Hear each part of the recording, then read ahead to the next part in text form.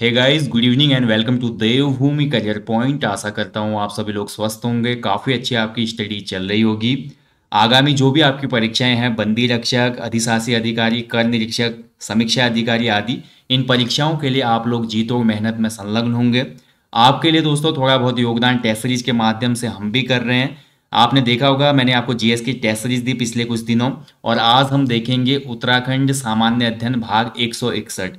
देखिए, Uttarakhand GK test के 161 part upload हो चुके हैं। सामान्य अध्ययन के 124 भाग अपलोड हो चुके हैं और सामान्य हिंदी के 130 प्लस जो टेस्ट हैं, वो यूट्यूब पर अपलोड हो चुके हैं। अगर आप केवल इन टेस्ट सीरीजों को भी फॉलो करते हैं आगामी ग्रुप सी एग्ज़ाम्स के लिए तो बहुत हेल्प आपको मिलेगी। और खासकर जो आपका जो ईओ e और टीआई का एग्ज़ाम होना है, ये भी आपका वन डे एग्ज़ाम है। इसमें भी आपका जीएस और सामान्य हिंदी ही पूछी जानी है। तो आप सभी लोगों के बार बार मैसेज आ रहे थे कि जो UK P S C E T I है, इसके लिए टेस्ट सीरीज़ कब से आएगी? तो इसकी जो फुल लेंथ टेस्ट सीरीज़ है, वो आपकी 16 अक्टूबर सोमवार से प्रारंभ हो जाएगी। इसमें आपको टोटल 20 टेस्ट मिलेंगे, जिसमें सामान्य अध्ययन के 10 पेपर होंगे फुल लेंथ होंगे 200 क्वेश्चन और सामान्य हिंदी के 10 पेपर होंगे फुल लेंथ होंगे, हर पेपर में 100 क्वेश्चन होगा, ठीक है? तो यानी कि फुल लेंथ ये प्रैक्टिस सेट रहेंगे आपके ईओ e और टीआई एग्ज़ाम के लिए, और लेटेस्ट यूके पीएससी के पैटर्न पर। और जैसा वो आपका एक बोलते हैं ना, जो उसका लेवल रहता है यूके पीएससी के पेपरों का, जैसा पैटर्न वो पिछले एग्जामों में फॉलो कर रहा है तो उसी के आधार पे सभी टेस्ट सीरीजें आपको मिलने वाली हैं। इस कोर्स को लॉन्च किया जाएगा नौ अक्टूबर, यानी कि आने वाला जो सोमवार है, परसों ये कोर्स लॉन्च हो जाएगा एप्लीकेशन स्टोर पर आप लोग जल्दी इसमें एनरोल कर लीजिएगा दोस्तों, क्योंकि प्रारंभ में एनरोल करने वाले स्टूडेंट्स को फिफ्टी रुपीज़ इसमें डिस्काउंट मिलेगा। बाद में कोर्स के प्राइसेस जो है इंक्रीज हो जाएँगे। मैं पहले ही बता रहा हूँ, इसलिए इस कोर्स को हम एक हफ़्ते पहले ही लॉन्च कर रहे हैं। और बाकी देखिए दोस्तों, आज का जो डे है, काफ़ी अच्छा था, क्योंकि आज आपने देखा होगा, एक नई वैकेंसी निकली थी, और ये नई वैकेंसी थी आपकी सहायक कृषि अधिकारी की, जो कि उत्तराखंड लोक सेवा आयोग ने निकाला है। ग्रेड वन की वैकेंसी आई है आज। और इसके साथ साथ ग्रेड थ्री की वैकेंसी है माफ़ कीजिएगा उसके साथ साथ उद्यान पर्यवेक्षक और अन्य मिक्स उसमें वैकेंसीज भी हैं, लेकिन क्वालिफिकेशन उसमें केवल साइंस स्ट्रीम के ग्रेजुएट्स के लिए है, जैसे कि जिसकी बीएससी थी और साथ ही जिसका बीएससी एग्रीकल्चर है, केवल उन्हीं लोगों को उसमें मौका मिलेगा। ह्यूमैनिटीज वालों को भी परेशान होने की कोई आवश्यकता नहीं है।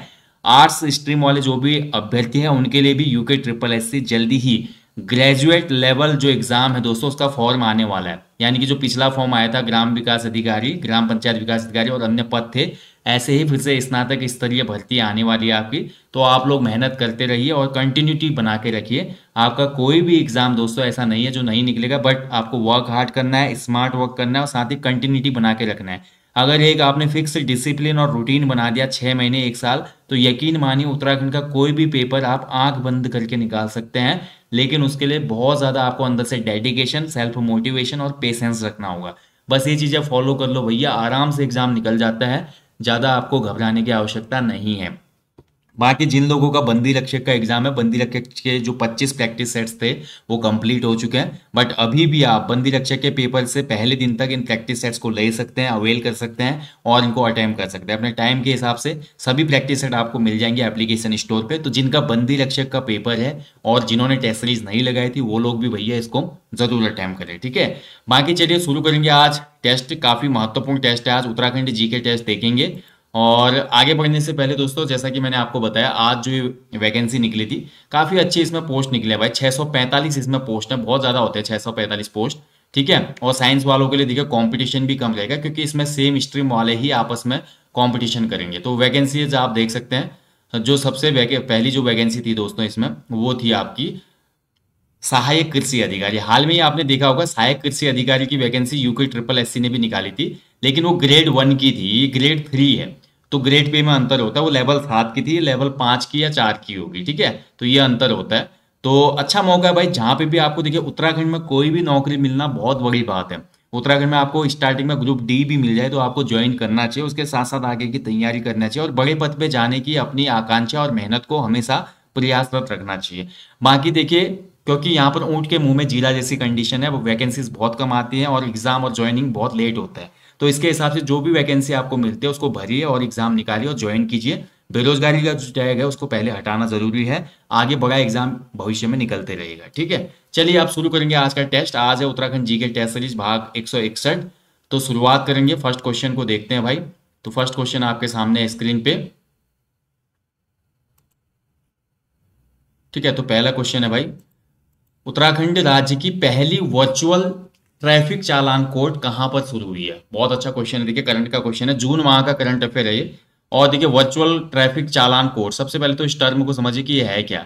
वर्चुअल ट्रैफ़िक चालान कोर्ट का मतलब है, जैसे कि दोस्तों, आजकल आपने देखा होगा, या कभी भी आपने देखा होगा कि कभी हमारा चालान हो जाता है। पुलिस वाले हमारा चालान कर लेते हैं।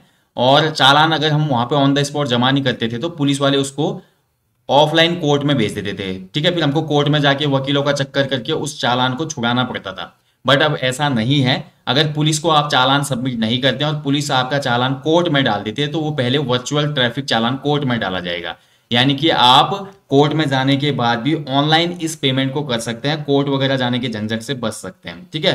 यानी कि ऑनलाइन माध्यम से ही अपने कोर्ट के चालान का भुगतान, यही वर्चुअल ट्रैफ़िक चालान कोर्ट है। और ये सबसे पहले शुरू हुई थी देहरादून में, ठीक है? इसकी शुरुआत कहाँ की गई? देहरादून में। तो पहला आंसर इसका राइट है देहरादून, ठीक है? तो बहुत अच्छा क्वेश्चन है इंपॉर्टेंट क्वेश्चन है, आ सकता है आने वाले एग्ज़ाम में। चलिए, आगे बढ़ेंगे अगले क्वेश्चन की तरफ़। नेक्स्ट क्वेश्चन है कार्बेट राष्ट्रीय उद्यान कितने वर्ग किलोमीटर में फैला हुआ है? तो बताना है आपने जो कार्बेट नेशनल पार्क है, ये कितने वर्ग किलोमीटर में विस्तृत है?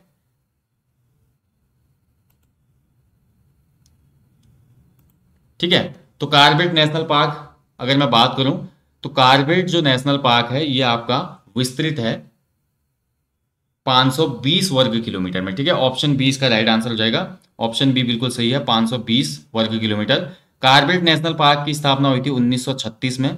इसका प्रारंभिक जो नाम था, वो था हेली नेशनल पार्क बाद में इसका नाम रामगंगा नेशनल पार्क किया गया और फिर कालांतर में जिम कार्बेट इसको नाम दिया गया। और ये जो पार्क है भैया, ये दो जनपदों में फैला हुआ है, नैनीताल और पौड़ी जनपद में, ठीक है? और इस पार्क के बीचों बीच एक मार्ग भी गुजरता है, जिसको हम जानते हैं कंडी मार्ग, जो कि ब्रिटिश कालीन बनाया गया था, कंडी मार्ग, जो कि रामनगर को जोड़ता है भैया कोट द्वार से। तो इंपॉर्टेंट क्वेश्चन है, अच्छे से याद रखना। कार्बेट राष्ट्रीय उद्यान कितने वर्ग किलोमीटर में है? तो ये आपका 520 वर्ग किलोमीटर में है। चलिए आगे बढ़ेंगे अगले क्वेश्चन की तरफ़। निम्न में से उत्तराखंड में एक लोकगीत नहीं है। देखिए उत्तराखंड का आर्ट एंड कल्चर एक ऐसा टॉपिक है दोस्तों, जहाँ से बहुत क्वेश्चन बनते हैं। और बच्चे इस पर फोकस नहीं करते। भाई आर्ट एंड कल्चर आपका बिल्कुल क्लियर होना चाहिए। यहाँ से बहुत क्वेश्चन बनते हैं हमेशा। अगर बात करें लोकगीत, लोक नृत्य, लोक वाद्य यंत्र, लोक संस्कृति, लोक कलाएँ, लोक चित्र, बहुत क्वेश्चन बनते हैं। तो ये वाला जो चैप्टर है आपका परीक्षा वाणी वाला भी ना, उसको आप अच्छे से क्लियर कीजिएगा। परीक्षा वाणी का जो चैप्टर है ये, लोक लोक संस्कृति वाला, उत्तराखंड आर्ट एंड कल्चर अच्छे से इसको आपने फॉलो करना है। अब दिए गए विकल्पों में अगर ध्यान से देखते हैं दोस्तों तो जो छोलिया है, छोलिया किसी भी प्रकार का लोकगीत नहीं है। छोलिया क्या है भाई? छोलिया एक नृत्य है, ठीक है? कुमाऊं क्षेत्र का एक युद्ध कौशल नृत्य है ये, ध्यान रखेंगे। क्वेश्चन कभी बन सकता है कि किस प्रकार का है? तो युद्ध कौशल वाला नृत्य है, ठीक है? बहुत पारंपरिक नृत्य है कुमाऊं क्षेत्र का। शादी, विवाह और अन्य फेस्टिवल्स में भी आपने देखा होगा। और छोलिया नृत्य प्रदर्शनी आपने कभी कभी नई दिल्ली की कुछ झांकियों में भी देखी होगी। तो छोलिया एक नृत्य है, लोकगीत नहीं है। बाकी न्योली, कुलाचार खुदेड़ ये सभी लोकगीत हैं। चलिए आगे बढ़ेंगे अगले क्वेश्चन की तरफ़।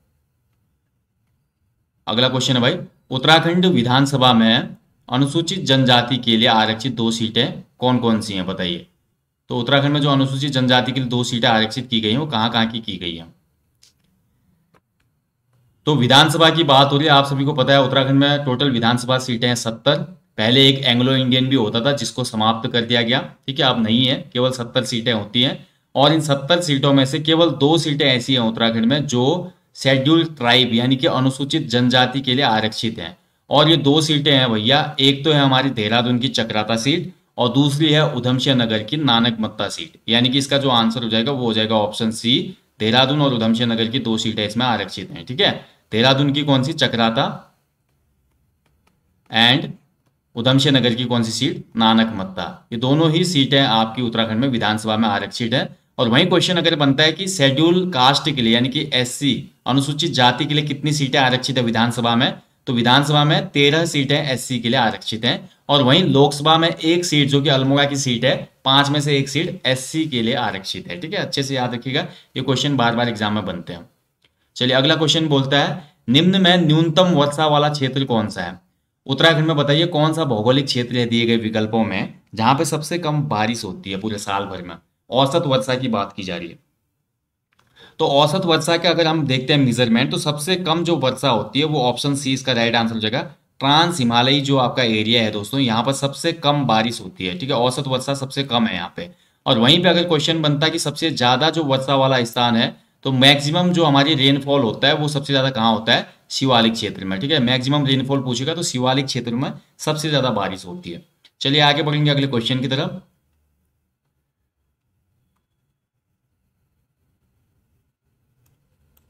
नेक्स्ट क्वेश्चन है. ब्रिटिश गढ़वाल, ब्रिटिश कुमाऊं में पहली बार भू बंदोबस्त किसने कराया था?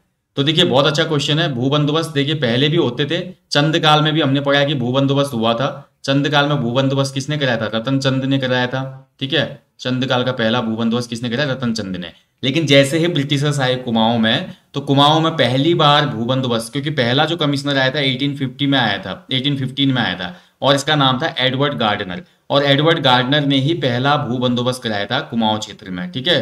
ब्रिटिश कुमाऊं पूछ रहा है ना? ब्रिटिश कुमाऊं, क्योंकि गढ़वाल भी ब्रिटिश कुमाऊं का ही भाग था, उस समय गढ़वाल एक अलग जनपद था, लेकिन था तो ब्रिटिश कुमाऊं में तो पहला भू बंदोबस्त ई गार्डनर ने कराया। इसके बाद ई गार्डनर, आपको पता ही है दोस्तों, ये आपका राजदूत बन के चले जाता है, ठीक है? कहाँ पे? नेपाल रेजिडेंस में। तो नेपाल ये दरबार में चले जाता है तो उसके बाद हमारा कौन आता है? विलियम ट्रेल आता है। तो इसके बाद के अगले जो भू बंदोबस्त होते हैं, वो विलियम ट्रेल ही करवाता है, जिसमें विलियम ट्रेल का सबसे ज़्यादा फ़ेमस जो भूमि बंदोबस्त था, वो था पंचशाला या पंचशाला भूमि बंदोबस्त, ठीक है? ये पंचशाला भूमि बंदोबस्त इसी को अस्सी साला भूमि बंदोबस्त भी कहा जाता है, क्योंकि ये अठारह में हुआ था और अठारह के हिसाब से अगर हम देखें दोस्तों तो संवत कितना चल रहा था? अठारह सौ अस्सी, क्योंकि जो संवत होता है, हमेशा सत्तावन साल आगे होता है है ना? तो इसीलिए पचसाला बंदोबस्त को अस्सी साला बंदोबस्त भी कहा जाता है। चलिए आगे बढ़ेंगे अगले क्वेश्चन की तरफ़। किस वर्ष गोविंद वल्लभ पंत को केंद्रीय गृह मंत्री का पद दिया गया था? तो गोविंद वल्लभ पंत जी केंद्रीय गृह मंत्री कब बने थे? तो गोविंद वल्लभ पंत देखिए, बने थे हमारे होम मिनिस्टर सबसे पहले 1955 में। तो ऑप्शन डी इसका राइट आंसर हो जाएगा 1955 क्वेश्चन और भी निकल के आते हैं गोविंद वल्लभ पंत जी से। पंत जी, पहली बार हमारा संयुक्त प्रांत के मुख्यमंत्री कब बने थे? तो 1937 में संयुक्त प्रांत के मुख्यमंत्री बने थे। गोविंद वल्लभ पंत जी को भारत रत्न कब मिला था? ये क्वेश्चन भी बनता है। तो उन्नीस सौ सत्तावन में इनको भारत का सबसे बड़ा नागरिक सम्मान मिला था भारत रत्न। ठीक है? तो वेरी इंपॉर्टेंट क्वेश्चन है। और गोविंद वल्लभ पंत जी को देखिए दोस्तों, गोविंद वल्लभ पंत जी को इनके जो हमारा जन्म दिवस है, दस सितंबर, गोविंद वल्लभ पंत जी का जो जन्म दिवस है, वो दस सितंबर है। इसको उत्तराखंड में गौरव दिवस के रूप में भी मनाया जाता है। ठीक है? कौन सा दिवस? गौरव दिवस। ये क्वेश्चन बनता है। और साथ ही देखिए गोविंद वल्लभ पंत जो है, ये काशीपुर में हमेशा डेरा डाले रहते थे। इसीलिए काशीपुर को अंग्रेज़ चिड़के बोलते थे गोविंदगढ़, ठीक है? गोविंदगढ़। क्वेश्चन भी बन सकता है किसी एग्ज़ाम में कि अंग्रेज़ किस स्थल को गोविंदगढ़ कहते थे? नैनीताल, अल्मोड़ा, काशीपुर ऐसे ऑप्शन आ जाएँगे। तो काशीपुर को गोविंदगढ़ कहते थे। गोविंद वल्लभ पंत ने दोस्तों, आपको पता ही है, युवा अवस्था में ही यहाँ पर हैप्पी क्लब की स्थापना की थी इन्होंने, ठीक है? बहुत ही कम उम्र में। और काशीपुर में जो प्रेम सभा की स्थापना हुई थी, उसमें भी इनका अहम रोल था। चलिए आगे बढ़ेंगे अगले क्वेश्चन की तरफ़ नेक्स्ट क्वेश्चन की तरफ़ बढ़ते हैं। अगला क्वेश्चन है, निम्न में से पश्चिमी कुमाऊनी वर्ग की एक बोली है। तो बताइए इनमें से जो पश्चिमी कुमाऊनी वर्ग की बोली है, वो कौन सी है? देखिए, कुमाऊनी वर्ग को चार भागों में बांटा गया भाई, कुमाऊं क्षेत्र को। ठीक है, अगर मैं उत्तराखंड की बात करूँ तो ये उत्तराखंड का मैप है। ठीक है, ये उत्तराखंड का मैप है। तो उत्तराखंड में भी जो है, कुमाऊनी जो क्षेत्र है, कुमाऊं क्षेत्र, इसको चार भागों में बांटा गया बोली के आधार पर इसमें है आपका पश्चिमी कुमाऊनी वर्ग, उत्तरी कुमाऊनी वर्ग, दक्षिणी और पूर्वी कुमाऊनी वर्ग।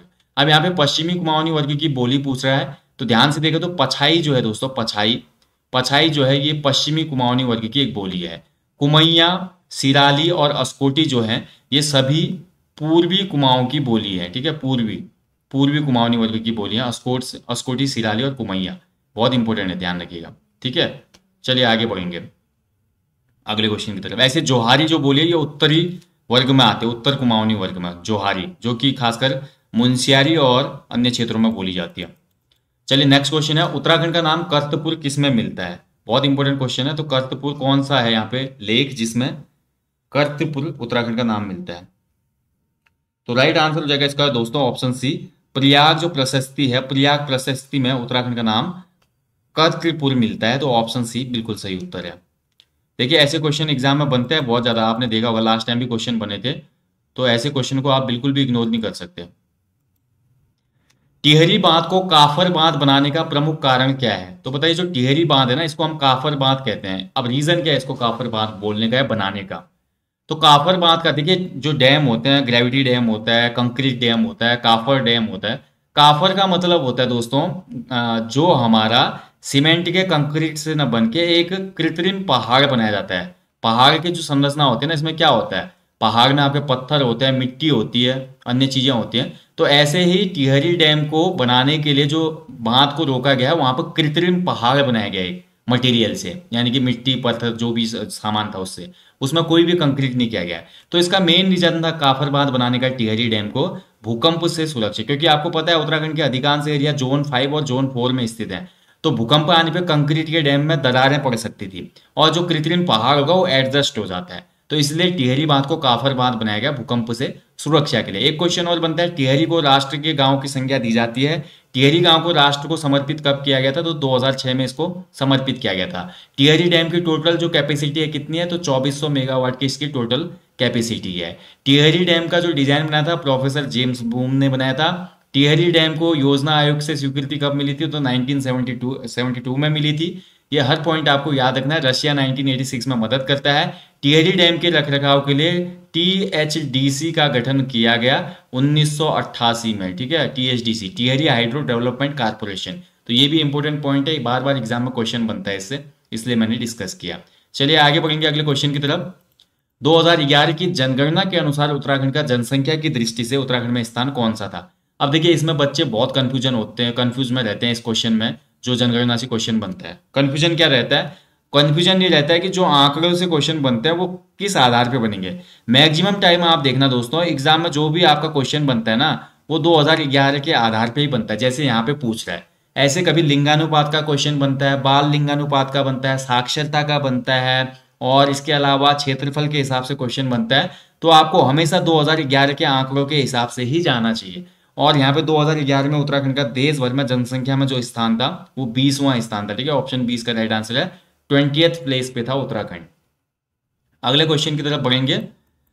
उत्तराखंड पर्यटन नीति 2023 के तहत शहरों को कितनी श्रेणी में विभाजित किया गया? बहुत अच्छा क्वेश्चन है, बहुत चर्चा में था हाल में ही। देखिए, उत्तराखंड में एक पर्यटन नीति लाई गई थी ना हाल में ही। तो इसमें आपने बताना है कि कितने, इसमें जो शहरों को कितनी कैटेगरी में डिवाइड किया गया है। तो बहुत इंपॉर्टेंट क्वेश्चन है, आने वाले एग्ज़ाम में आ सकता है। देखिए, इसमें शहरों को तीन कैटेगरीज में डिवाइड किया गया है, ठीक है? तीन कैटेगरीज और तीन कैटेगरीज कौन सी हैं? कैटेगरी ए कैटेगरी बी और कैटेगरी सी ठीक है, जो अभी नई पर्यटन नीति आई थी। कैटेगरी ए में जो है भाई, जो ज़्यादा टूरिज़्म वाले सिटीज़ हैं, जैसे कि हरिद्वार, नैनीताल, उधमसिंह नगर, देहरादून, रानीखेत, अल्मोड़ा वगैरह, जहाँ पे बहुत ज़्यादा पर्यटन आते हैं, पर्यटक आते हैं तो वो श्रेणी ए में। श्रेणी बी में अल्मोड़ा का कुछ भाग है, देहरादून का कालसी चक्राता वगैरह इसमें, धुमाकोट हो गया आपका, ठीक है, और तिहरी का धनौल्टी वगैरह हो गया तो ये बी में रखे गए हैं। सी में दोस्तों, बहुत दुर्गम प्लेसेस को रखा गया, जैसे कि उत्तर काशी का एरिया चमोली हो गया, चंपावत हो गया, पिथौरागढ़, बागेश्वर, ये सभी हमारे सी में रखे गए हैं। तो उत्तराखंड पर्यटन नीति 2023 के तहत शहरों को तीन श्रेणियों में विभाजित किया गया है, ठीक है? वेरी इंपॉर्टेंट क्वेश्चन है, अच्छे से। मैंने ये करंट अफेयर में आपको कराया था। करंट अफेयर का मैं इसलिए बोल हूँ कि कोर्स आपका जो एप्लीकेशन स्टोर पे वो ज़रूर लीजिएगा आप। जिनका भी आगामी परीक्षाएँ भैया आर ओ ए आर ओ की ईओ e और टीआई की साथ ही बंदी रक्षक की वो हमारा जो करंट अफेयर का लाइफ टाइम कोर्स है एप्लीकेशन स्टोर पे, एक ही बार फ़ीस देनी है एक से या एक सौ पचास रुपए। उसके बाद लाइफ टाइम आपका एक्सेस रहेगा उस कोर्स में, जनवरी 2023 से उत्तराखंड जी के उत्तराखंड करंट अफेयर साथ ही national international current affair upload किए गए हैं, ठीक है? दो, जनवरी 2023 से अभी तक के। तो आप लोग इस कोर्स को ज़रूर लीजिएगा, बहुत इंपॉर्टेंट है। क्वेश्चन बोलता है कि उत्तराखंड की एक क्रिकेट खिलाड़ी नहीं है, इनमें से कौन सी एक क्रिकेट खिलाड़ी नहीं है? तो ध्यान से अगर देखें इस क्वेश्चन को दोस्तों तो हमारी जो श्वेता वर्मा है, ये क्रिकेट खिलाड़ी हैं। स्नेह राणा भी हमारे क्रिकेट खिलाड़ी हैं। एकता बिष्ट भी हमारी क्रिकेट खिलाड़ी हैं। मानसी नेगी जो है, हमारी क्रिकेट खिलाड़ी नहीं है। मानसी नेगी का संबंध है एथलेटिक्स से, ठीक है? किससे संबंध है इनका? ये एक एथलेटी एथलीट है, जो कि वॉकिंग करती हैं। और ये चमोली जनपद से बिलोंग करती हैं दोस्तों। और हाल में ही आपको पता ही होगा हाईलाइट थी काफ़ी। इन्होंने मेडल जीता था इंटरनेशनल इवेंट में। तो चमोली की है मानसी नेगी, जो कि एथलीट है। एथलेटिक्स से इनका संबंध है। चलिए आगे बढ़ेंगे अगले क्वेश्चन की तरफ़। नेक्स्ट क्वेश्चन बोलता है, देखिए, बहुत अच्छा क्वेश्चन है। निम्न कथनों पर विचार करें और सही कूट चुने देखिए, आपको कथन दिए गए हैं, आपको इन कथनों को देखना है ध्यानपूर्वक और उसके बाद सही कूट इसमें चुनना है, ठीक है? अब पूरा तो आएगा नहीं, थोड़ा इसको जूम कम करना पड़ेगा, तब दिखेगा ठीक है, थोड़ा और कम करना पड़ेगा इसमें। चलिए, बताइए आप इसका आंसर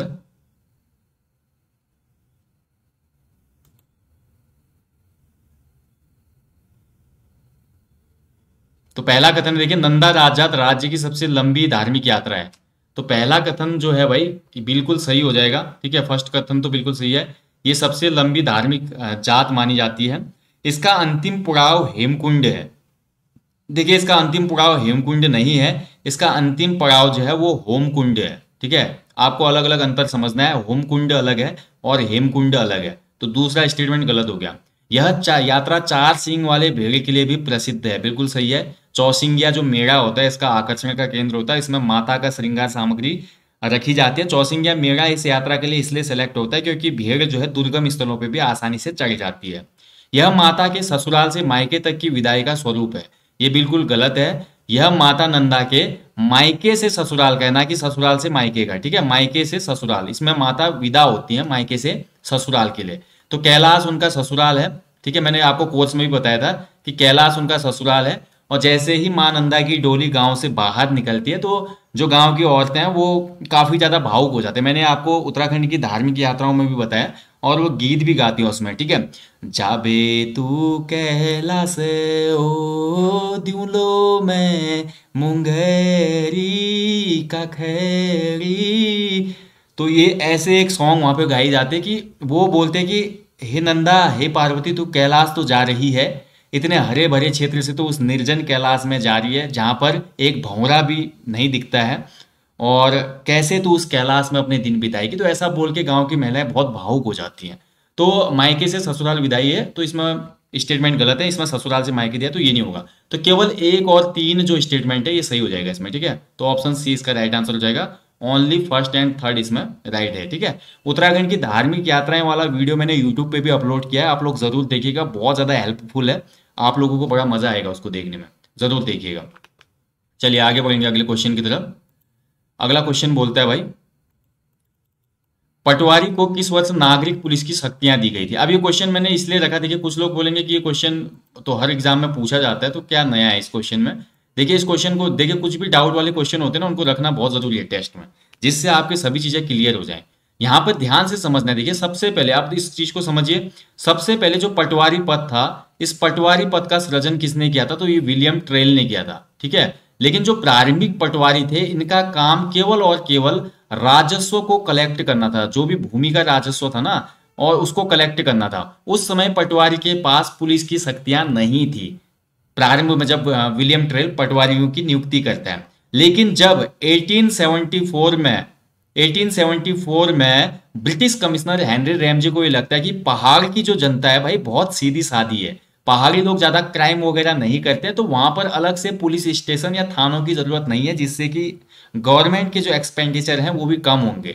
तो इसने एक दिमाग लगाया, इसने सोचा कि जो पहाड़ क्षेत्रों में राजस्व कलेक्ट करने वाले पटवारी हैं क्यों ना उनको मैं एक अमेंडमेंट करके पुलिस की शक्तियाँ भी दे देता हूँ। यानी कि जो थानों में पुलिस एसआई होता था, उस पुलिस एसआई के बराबर ही पावर पटवारी को भी दे दी 1874 में किसने? हेनरी रेमजे ने। तो राजस्व पुलिस व्यवस्था शुरू करने वाला कमिश्नर पूछेगा तो राजस्व पुलिस व्यवस्था या पटवारी को नागरिक पुलिस की शक्तियाँ कब मिली? 1874 में और किसने दी? हेनरी रैमजे ने। वहीं अगर एग्ज़ाम में केवल क्वेश्चन बनता है कि सर्वप्रथम पटवारी की नियुक्ति या ब्रिटिश काल में पटवारी की नियुक्ति किसने की थी तो आपका आंसर हो जाएगा विलियम ट्रेल। दोनों पॉइंटों को अलग अलग समझिए। पटवारी शब्द जो था प्रारंभ में केवल केवल भू राजस्व कलेक्ट करने के लिए बनाया गया था। ठीक है? इसको राजस्व पुलिस की शक्तियाँ किसने दी? हेनरी रैमजी ने 1874 में। ठीक है? तो ये इंपोर्टेंट पॉइंट है, अच्छे से इसको आप याद रखिएगा। चलिए आगे बढ़ेंगे अगले क्वेश्चन की तरफ़। राज्य सरकार का समर्थ पोर्टल किससे संबंधित है? तो समर्थ पोर्टल रिलेट करते हैं राज्य सरकार में, जो हायर एजुकेशनल, जो हायर एजुकेशन इंस्टीट्यूट है, ठीक है? इनसे रिलेट करता है तो ऑप्शन ए इसमें राइट आंसर हो जाएगा। हायर एजुकेशनल इंस्टीट्यूट से रिलेट करता है समर्थ पोर्टल तो ऑप्शन ए बिल्कुल सही उत्तर है। चलिए आगे बढ़ेंगे अगले क्वेश्चन की तरफ़। नेक्स्ट क्वेश्चन बोलता है, उत्तराखंड जैव विविधता बोर्ड कहाँ स्थित है? तो देखिए, जैव विविधता बोर्ड तो बायोडाइवर्सिटी जो हमारा बोर्ड है दोस्तों उत्तराखंड का, ये आपका स्थित है देहरादून में, ठीक है? ऑप्शन इसका राइट आंसर हो जाएगा। देहरादून में स्थित है उत्तराखंड जैव विविधता बोर्ड तो ऑप्शन ए बिल्कुल सही उत्तर है इसका, ठीक है? काफ़ी लोगों को देखिए, उरेडा में भी कंफ्यूजन रहता है। कुछ पुरानी किताबों में उरेडा का मुख्यालय आज भी अल्मोड़ा दिया है, लेकिन ऐसा नहीं है। उरेडा का जो मुख्यालय है, वर्तमान समय में पटेल नगर देहरादून में है, ठीक है? ध्यान रखिएगा, पटेल नगर देहरादून में। तो बिल्कुल भी कंफ्यूजन नहीं होना है आपको। उत्तराखंड का जो हमारा अक्षय ऊर्जा एजेंसी है, वो देहरादून में स्थित है, पटेल नगर में, ठीक है? चलिए आगे बढ़ेंगे अगले क्वेश्चन की तरफ़। खाद्य सुरक्षा सूचकांक 2023 में उत्तराखंड का देश में क्या स्थान रहा? तो देखिए 2023 में खाद्य सुरक्षा सूचकांक दो, जून 2023 में इसको रिलीज़ किया गया था और फ़ूड सेफ्टी इंडेक्स, इसमें उत्तराखंड का देश भर में स्थान रहा था ग्यारहवां ठीक है? ऑप्शन सी इसका राइट आंसर है। इलेवंथ पोजीशन पे रहा था उत्तराखंड। तो ऑप्शन सी इसका सही उत्तर हो जाएगा। नेक्स्ट क्वेश्चन की तरफ़ बढ़ते हैं। वनाग्नि के मामलों में हिमालयी राज्यों में उत्तराखंड का देश में कौन सा स्थान है? देखिए, वनाग्नि का मतलब है जंगलों में जो आग लगती है गर्मी के टाइम पीरियड पे और इससे जो नुकसान होता है। साथ ही पर्यावरण संबंधी अपराधों में। देखिए, ये भी बहुत इंपॉर्टेंट पॉइंट है, आपको अच्छे से याद करना है। पर्यावरण संबंधी जो अपराध होते हैं, जैसे कि बिना परमिशन के जंगलों के पेड़ काटना और अन्य जो हमारे संवेदनशील जंगल है, उनको नष्ट करना। तो पर्यावरण संबंधी जो अधिक अपराध थे, इसमें भी उत्तराखंड का देश भर में पहाड़ी राज्यों में पहला स्थान था। यानी कि जितने भी पहाड़ी राज्य हैं, उसमें पर्यावरण से संबंधित जो अपराध होते हैं वन्य जीवों की तस्करी वन्य जीवों को मारना, पेड़ों को काटना, इसमें उत्तराखंड पहले स्थान में था, जो कि बहुत ज़्यादा निंदनीय है। इसके साथ साथ वनाग्नि के मामले में भी उत्तराखंड का देश में पहला स्थान रहा। जंगलों की आग सबसे ज़्यादा पहाड़ी राज्यों में, उत्तराखंड में ही लगती है। हिमालय राज्य का मतलब पहाड़ी राज्य पे ठीक है? तो ऑप्शन ए इसका राइट आंसर है। चलिए आगे बढ़ेंगे अगले क्वेश्चन की तरफ़। लास्ट क्वेश्चन है, देखिए आज के टेस्ट का। द गोल्डन ईयर्स पुस्तक के लेखक कौन है? तो बताइए इनमें से कौन व्यक्ति हैं भैया जिन्होंने द गोल्डन ईयर्स पुस्तक लिखी है? देखिए, हाल में ही इस पुस्तक को लॉन्च किया गया था, विमोचन किया गया था इस पुस्तक का। और इस पुस्तक को लिखने वाले जो राइटर है भाई, ये मसूरी में रहते हैं। अब मसूरी में कौन रहता है, ये आप रिलेट कर लो। दिए गए विकल्पों में से सिर्फ़ एक बंदे हैं जो मसूरी में अभी वर्तमान में भी निवास करते हैं और इनका नाम है रस्किन बॉन्ड, ठीक है? तो रस्किन बॉन्ड की रचना है। देखिए, रस्किन बॉन्ड का एक उपन्यास है जो काफ़ी एग्जामों में पूछा गया है। इन्होंने सत्रह वर्ष की उम्र में ही दिख दिया था। The room on the roof, ठीक है? ये भी इनका एक बहुत इंपॉर्टेंट उपन्यास है। The room on the roof. सत्रह साल की उम्र में उन्होंने ये उपन्यास लिखा। इसके अलावा देखिए, रस्किन बॉन्ड की बहुत सी रचनाएँ हैं। मैंने रस्किन बॉन्ड पे वीडियो दी हुई है। देखिए, अगर आपको साहित्यकारों की वीडियो देखना है, सब प्लेलिस्ट आपकी यूट्यूब पर बनी हुई है। आप प्लेलिस्टों के वीडियो को वॉच कीजिए, आपका उत्तराखंड बिल्कुल क्लियर हो जाएगा, उत्तराखंड का कोई भी क्वेश्चन नहीं रहेगा। उसके साथ साथ जो हमारी उत्तराखंड जी के वन लाइनर ई बुक है, अगर आप उत्तराखंड जी के वन लाइनर ई बुक लेते हैं, जिसके पार्ट वन से लेकर फोर तक है, ठीक है? तो चार भागों में ई बुक है वो। अगर वो चारों ई बुक लेकर आप रिवीजन करते हैं ना, उनका प्रिंट आउट निकाल के तो बहुत ज़्यादा हेल्प आपको आने वाले एग्ज़ाम में मिलेगी, ठीक है? बहुत ज़्यादा हेल्पफुल वो ई बुक है। इसके अलावा जितने भी ई बुक हमारे, वो काम किए हैं, आप लोग ज़रूर लीजिएगा उनको और प्रिंट आउट निकाल के रिविजन करने के काम आएँगी। तो यहीं पे सेशन को दोस्तों आज समाप्त करेंगे। आज था उत्तराखंड जीके टेस्ट भाग एक सौ इकसठ।